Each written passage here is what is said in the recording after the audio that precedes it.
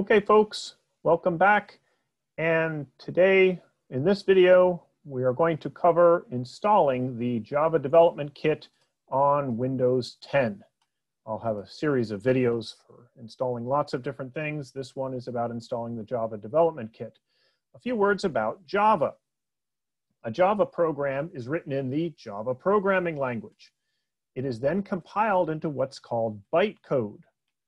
The Java Development Kit is used to compile the program. So if you want to write Java programs for yourself, you need the uh, Java Development Kit or we call it the JDK for short.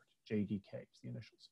Once you have this bytecode, the Java Runtime Environment, or JRE, is then used to run the compiled bytecode. What's nice about this arrangement is that you can write and compile a program on Windows and then have that program run on a Mac.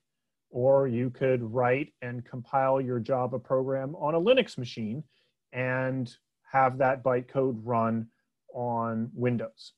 So this is what we really like about the Java programming language.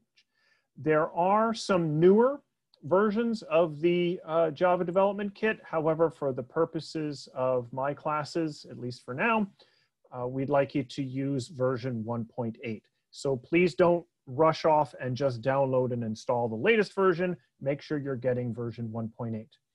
Uh, another important tip here is that for Windows, we want to make sure that you're installing the 64-bit edition, and that will install to your program files folder on your hard disk. So let's go ahead and get started. We will go and visit the website for the Java Development Kit version 8. Uh, it's called 1.8. They simply call it call it 8 here. Okay, so standard edition development kit. This is where we want to be. We'll scroll down through the different operating systems. Notice there are two different selections here. Make sure that you are working with the selection for Windows x64. This is the 64-bit edition. So we'll go ahead and click on that download button. Okay.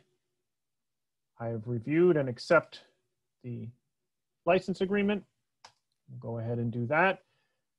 Okay, now on Oracle's website, you will need an account in order to be able to download software. If you don't have an account, you can click the create account button here and it will take you through the steps. It's just like creating an account on any website.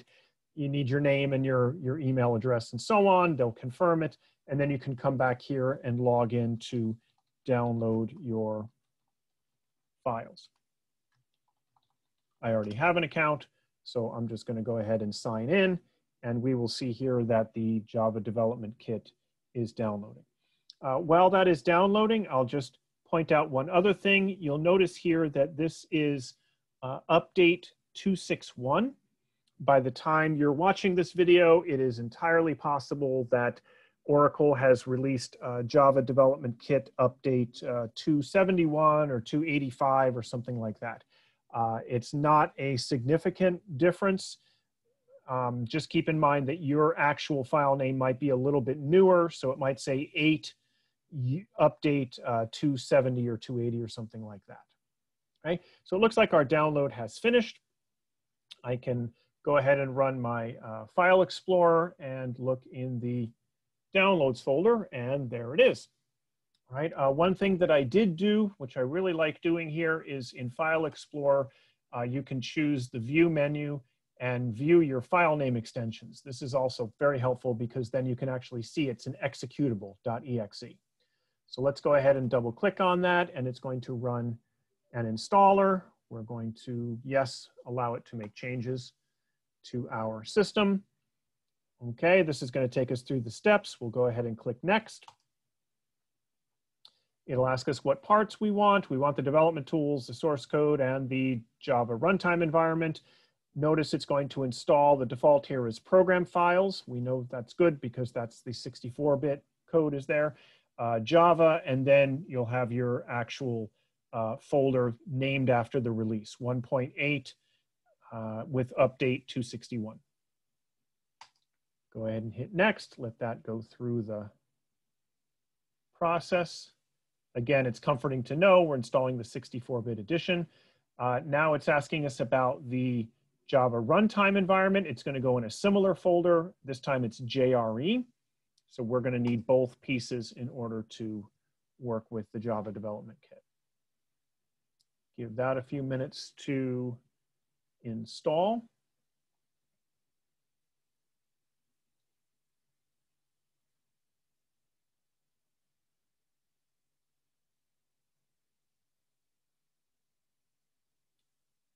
Okay, that did not take long, and I think we are all set. What we'll do now is we'll take a look here on our C drive, and we will go to our program files. Again, this is where the 64-bit software goes. the 32-bit software goes in the x86 folder down here. But we're gonna go into program files, we'll look in Java, and here we have our JDK and the JRE. So the JDK for writing and compiling Java programs and the JRE for running Java programs. Let's just double check that we have all of the right folders here and we'll look in bin. We will see here that we have Java C, that's the compiler, and Java is the runtime, right? So all of that looks good.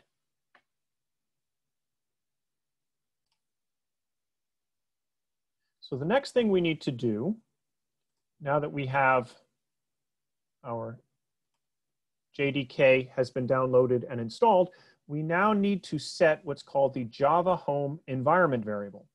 Uh, many programs on Windows and on Mac and on Linux, they use environment variables to hold different information. Uh, I would say a default Windows installation probably has over a dozen different environment variables that just control different aspects of the operating system. Okay, so to do that, let's go here to the start menu and we can just start typing in environment. The first thing that comes up here is edit system environment variables. We'll go ahead and run that. Then we'll see here there's a button called environment variables. We'll go ahead and click into that. I'm just going to take a quick look here. These are the variables that are already defined. I don't see a Java home, so I will click new. We're going to go ahead and type in Java home. And then for the variable path, all right, I'm going to cheat a little bit here. I'm just going to highlight the name of the path and copy it. So it's C program files, Java, JDK 1.8.0, underscore 261. And now I can switch back here and paste that in. It's also always helpful to just copy and paste it rather than trying to type it, because if you make a mistake, it can cause some funny errors and it's kind of tough to track it down. Okay, so now we have the Java home environment variable all set. We can close this up and we can close this up. Our last step is going to be to test whether or not we have the right version installed. So let's go again to our Windows Start menu, and we will run a command prompt, a CMD.